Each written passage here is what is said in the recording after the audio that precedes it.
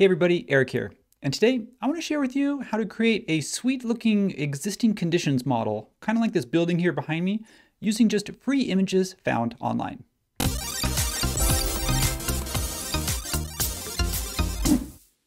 So when I say free images found online, I mean that sometimes we need uh, to build a building, uh, especially if we want to show a context building or something that exists in the real world.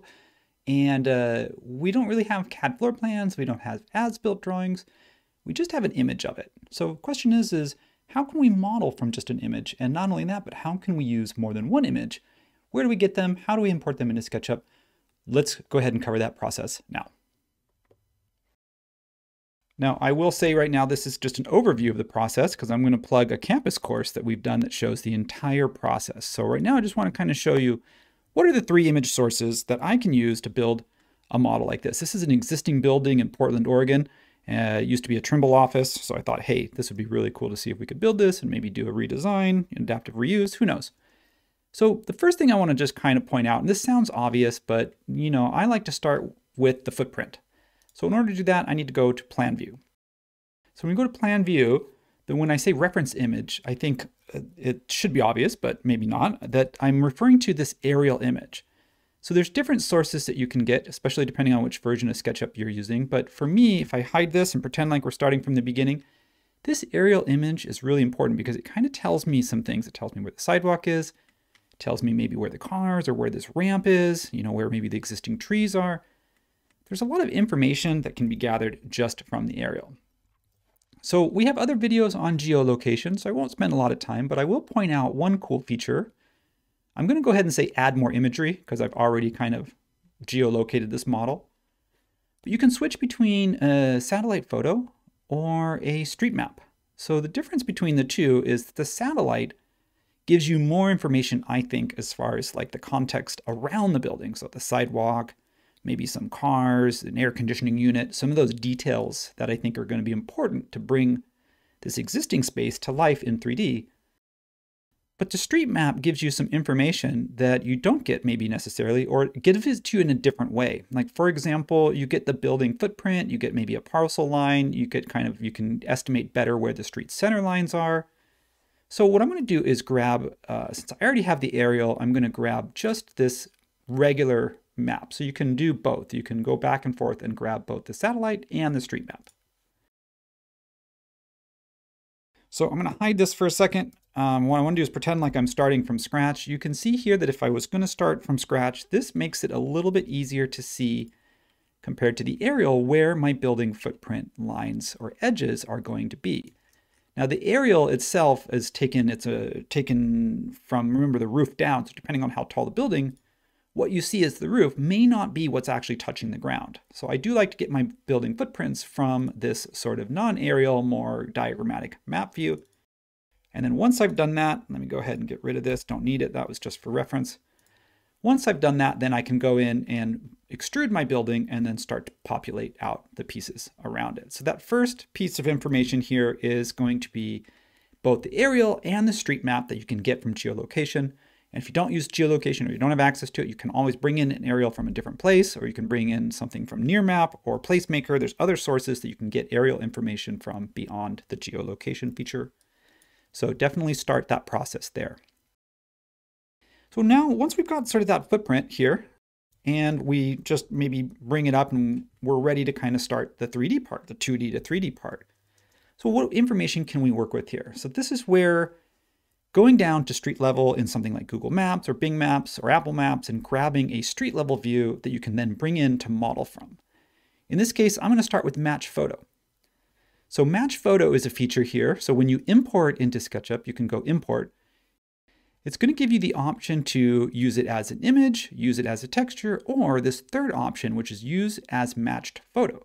So if you select use as match photo, what you get is sort of an interesting way that it brings the image in, not as a watermark, not as a texture, but as sort of an overlay. So you can see when I zoom out here, what it's doing is it's fixing, it's locking that image into perspective. And then I can go in and align my model's perspective. Like if I come over here and open up my matched photo panel, you can see here is that it gives you some settings that I can then go in and turn the grid on and off. I can adjust these grid lines so I can basically match the model to the photo. Now I'm not going to go into too much detail on how to do that because we've got tons of great videos actually already existing that go into way more detail about how to get the perfect match photo. In this case, the point is, is that you can bring an image in, you can use it as a match photo. And for example, I'll give you an example why this is really helpful. If I was to go in and place my utility poles, you can see it's, ma it's, it's matching the perspective. Um, it's locking the perspective of the photo so that when I go to place it, I can just kind of place that right where I want it. And I know that's going to be uh, pretty close to what it is in real life. So that's really helpful for me. So I'm going back and forth between my modeling view. You know, if I rotate, I lose that match photo perspective. I'm out of it. And I can go back to that match photo. I can bring that back in anytime. So that was two. That was two ways, the plan view, the street view as matched photo. The third way that I like to do is now match photo is great, but not every angle works for match photo, especially if you're doing an elevation where the perspective, you don't get that two point perspective as well. So I like to think about it as a watermark as well. For those that uh, have seen my videos before, you know that I love working with the watermark feature. The watermark you can see when I zoom out here. Let me just go and toggle that section cut off. When I zoom out, unlike that matched photo, it didn't zoom out with my model. It stayed fixed. And that's because this image is not being referenced in the model. It's not being referenced in the match photo setting. It's actually being referenced as a style. So under the style, under whichever style I have that watermark for, you can see if I go into edit, under watermarks, I can turn the watermark off and on.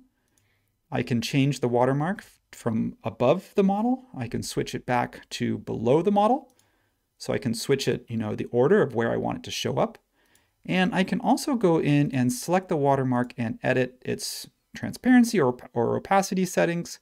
So let me see, probably better if I do that above the model where it was in the beginning and then come over here and I'll just change that. So if I want to see more of the image, I can see that. But of course the line work gets hard to see.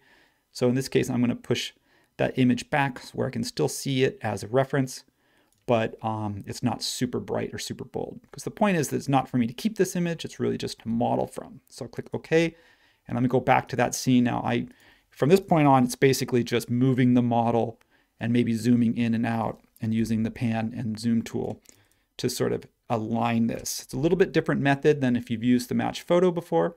And again, it's not going to be perfect, and that's okay. It's just a reference that I want to use to work. So I know if I kind of look closely here, I know that there's a tree well here. I know there's a tree right here. I can see that in the photo and it gives me kind of a pretty close approximation on how to start. So that's pretty cool. So if I switch to my working view, I can pop out at any point. So I can switch kind of back and forth between the watermark view.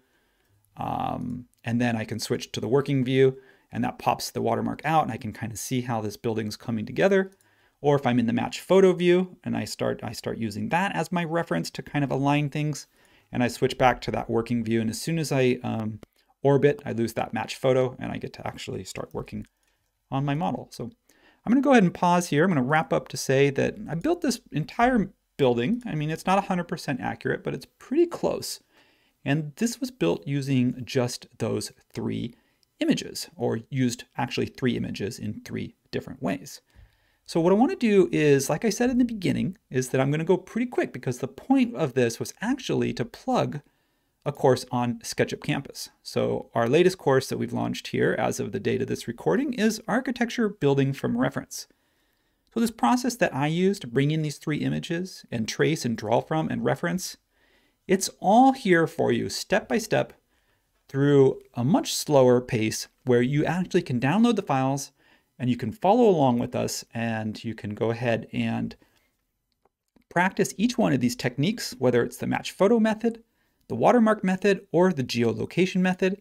And then of course we go beyond that where we go to 3D Warehouse and we look at some other details that don't show up in the images and just kind of how to basically approach a process like this where you're modeling from just images.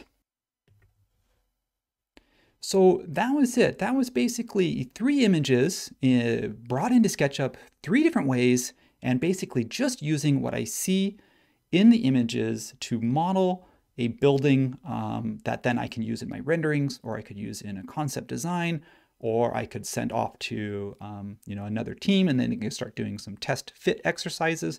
So whatever your the use is for something like this, this technique, obviously that's up to you. But hopefully you found uh, something in here useful. Uh, take that campus course. Let us know. There's a, a place to give feedback there as well. So if you've taken it already, let us know how it went. If not, go check it out at learn.sketchup.com. And I will leave you there with thank you and see you next time.